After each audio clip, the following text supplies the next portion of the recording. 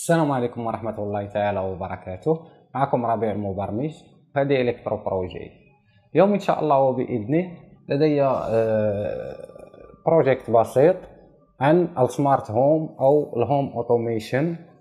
يخص Arduino WiFi وهذه البوردات بوردات ال Arduino WiFi كما تشاهدون أحبتي في الله هذه Arduino Mega WiFi بها العديد من النسخات بها هذه النسخة Mega WiFi وبها كذلك نسخة ثانية هذه التي سنستخدمها في هذا التطبيق بإذن الله Uno WiFi.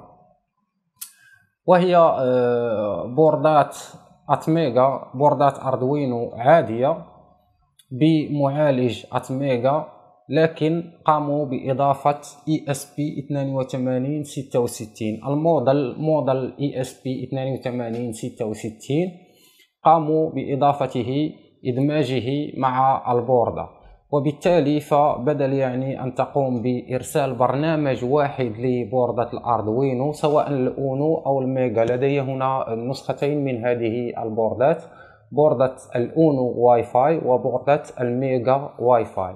يعني بوردة Arduino Uno زائد ESP 8266 مع كل ما ستحتاجه لهذه العملية. فيعني تعرفون آه، إشكاليات آه، بوردات ال ESP سواء NodeMCU أو آه، ال Arduino Uno Wemos D1 أو ال ESP 32 فكلها بوردات تتمركز أو تتمحور على معالج ال ESP ومعالج ال ESP هذا سواء ال ESP 8266 أو ال ESP 32 الذي هو معالج 32 bit. فكلها 3.3 logic level فيعني كلها آه، مداخلها ومخارجها تشتغل على ال logic level 3.3 فولت. هذا من أحد يعني آه، المميزات التي آه، لا ترغب في هذه البوردات. فهنا في هذه البوردات لدي قاموا بإدماج معالج ال ESP 8266 مع المعالج ال ATmega يعني لديك اثنان processor معالجين ببرنامجين. تقوم بتمرير البرنامج الأول لل ESP لكي يتواصل مع الواي فاي والبرنامج الثاني لل ATmega لكي يعني آه، يقوم بتفعيل المداخل والمخارج والتعامل مع ال devices والتواصل فيما بينهما يتم عن طريق ال serial interface وبالتالي تكون لديك بوردة بها معالجين اثنين. إذا آه، تكون بوردة قوية بها معالجين اثنين. يعني أنها آه، تستطيع آه، عمل الكثير من الأوامر وكذلك ممكن أن تعمل synchronization للأوامر التي بها.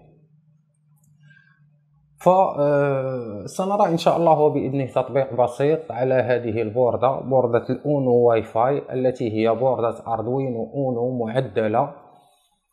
مضاف إليها ESP 8266 سوف نرى تطبيق لل smart home أو ال home automation. مع ذلك التطبيق القديم الذي كنا قد صنعناه تطبيق الأندرويد المسمى منزلي. والذي كنا قد صنعناه يعني خصيصا من أجل هذه التطبيقات أو من أجل هذه المشاريع مشاريع الهوم أوتوميشن أو مشاريع السمارت هوم فهيا بنا إذا نرى ماذا لدينا. إذا أحبتي في الله هذه مكونات المشروع. لدي هنا آه، هذه البوردة. كما قلنا بوردة أردوينو أونو واي فاي كما تشاهدون هنا أحبتي في الله. بها معالج ATmega كأردوينو أونو عادية وبها كذلك ESP processor ال ESP 8266 وهذه case فقط هذه علبة. كما تشاهدون أحبتي في الله هذا هو غطاء العلبة. هذه قمت بتصميمها وطباعتها من قنينات البلاستيك قنينات الماء إعادة التدوير. وهذا ال processor أو هذه الأردوينو أردوينو واي فاي سنقوم بتغذيتها بهذا ال power bank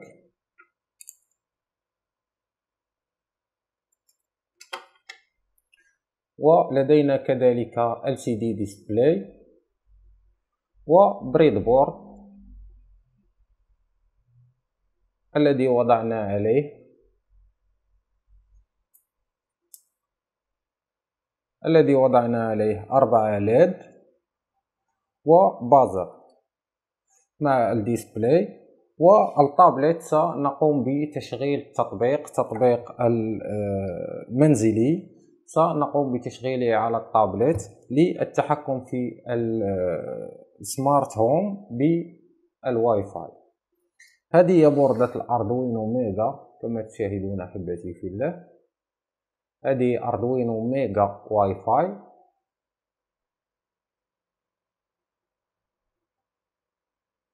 وهذه بوردة الأردوينو أونو واي فاي التي سنستخدمها في هذا ال project إذا أول شيء نقوم بتشغيل هذا ال system تعمدت أن أقوم بتشغيله فقط من خلال ال power bank أن يقوم بالاتصال مع شبكة الواي فاي وها قد تم الاتصال وقد قام بإظهار ال IP الخاص به على ال display ال LCD display جيد. الآن نقوم بتشغيل تطبيق منزلي على التابلت. نقوم بإدخال ال IP address مئة واثنان وتسعون نقطة مئة وثمانية وستون. نقطة مئة وخمسة وخمسون نقطة مئة وتسعون. هذه هي الاي بي ادرس نقوم بالضغط على اتصل. وها قد تم الاتصال. الآن نقوم بالتحكم من خلال هذه السويتشات الموجودة هنا. كما تلاحظون يعطي بيب على البازر وكذلك المخرج رقم واحد قد اشتغل. كذلك هنا على هذه الليكيد كريستال كما تشاهدون أحبتي في الله يعطينا إشارة على أن المخرج الأول on.